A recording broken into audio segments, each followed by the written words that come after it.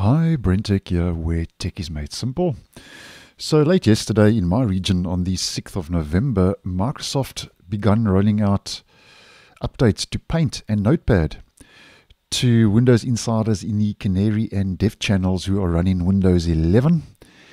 So just a quick overview as to what is happening with this update. Now, first of all, uh, Paint is now on version 11.24.10.28.0 and the first of a couple of features to look at is it has a new generative fill tool. And apparently, according to Microsoft, uh, this feature basically adds or modifies elements in an image with text prompts. And then you can pick an area of your image and then describe what um, you want added, as we can see in the screenshot provided. And then after that, the artificial intelligence will take it and then try to generate that content giving you multiple generated options so anyone can pick um, you know the right fit. So you'll have a couple of options to go through um, which I always think is good when we have those options.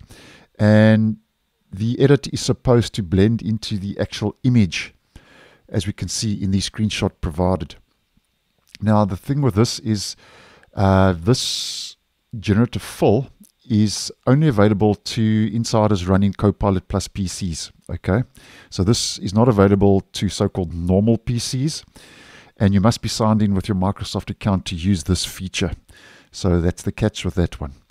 Then moving on to the next, and the next one um, is called Generative Erase, and we have spoken about this uh, previously on the channel.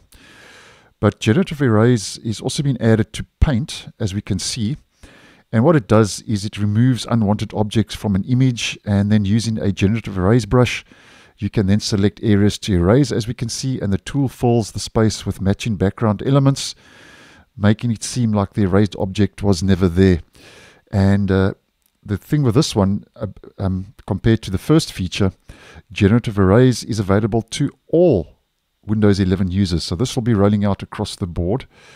And uh, um, something else just to mention quickly um, as a side note Image Creator, which is a feature that lets you generate images based on text prompts, has also been expanded to more markets, including the United States, France, the UK, Canada, Italy, and Germany. So that's the third improvement. And then the last one, just to mention for the purpose of this video, and now we're jumping from Paint to Notepad, where um, Microsoft has said, let me just reduce this quickly. Microsoft has said uh, from the release notes that some some changes to Notepad are included in a new version 11.2410.15.0 and what it does is it introduces a rewrite functionality functionality that's powered by generative AI so what you can do is you can uh, select text and the AI will generate three text variations.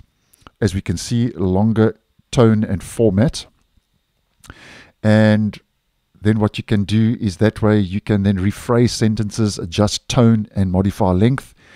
And this feature is also available in preview to all Windows 11 users in the Insider program. So one or two of these are only rolling out to Copilot Plus PCs, and then one or two are also rolling out to all Windows 11 users. So it looks like uh, Microsoft is taking the opportunity once again to pop um, and put AI into every nook and cranny of Windows and the different apps and services. So it seems that um, Paint and Notepad are going to be getting an AI upgrade in the near future. So if that happens, obviously I'll keep you guys posted. So thanks for watching and I'll see you in the next one.